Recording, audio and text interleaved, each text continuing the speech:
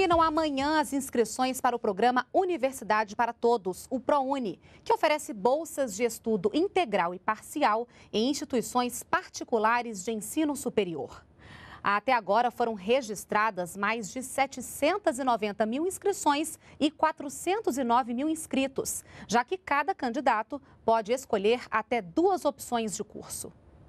Marina é só alegria. Depois de muito esforço, ela está perto de se formar. É o último ano dela na Faculdade de Educação Física. A estudante conta que só conseguiu fazer o curso, que custa R$ 1.200 por mês, porque é bolsista integral pelo programa Universidade para Todos, o ProUni. Eu fiquei muito feliz porque a bolsa seria assim a única oportunidade que eu teria de estar tá realizando um sonho, né, que é poder me formar. Segundo o Ministério da Educação, pelo menos 400 mil estudantes já se formaram com a ajuda do ProUni. Para esta edição, que tem as inscrições abertas até amanhã, serão ofertadas mais de 115 mil bolsas parciais e integrais. A expectativa é a melhor possível. Nós tivemos aí, estamos é, com um processo crescente de inscrições ao longo dos 10 anos de existência do ProUni.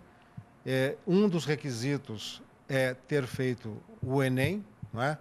E veja você que nós estamos tendo números absolutamente recordes de inscrição no Enem. Esse ano tivemos 9 milhões e meio, ano passado 7 milhões. Então, quer dizer, essa base é exatamente o que nos permite dizer que, com certeza, a inscrição vai crescer também, neste caso, no ProUni.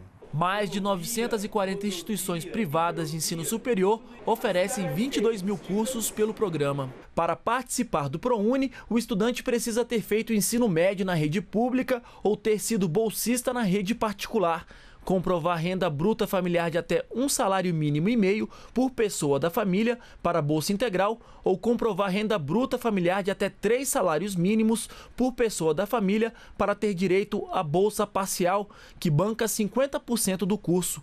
Estudantes com deficiência e professores da rede pública que concorrem a cursos de licenciatura também podem se inscrever no programa. Lembrando que as inscrições para o ProUni devem ser feitas até amanhã pelo site do Ministério da Educação.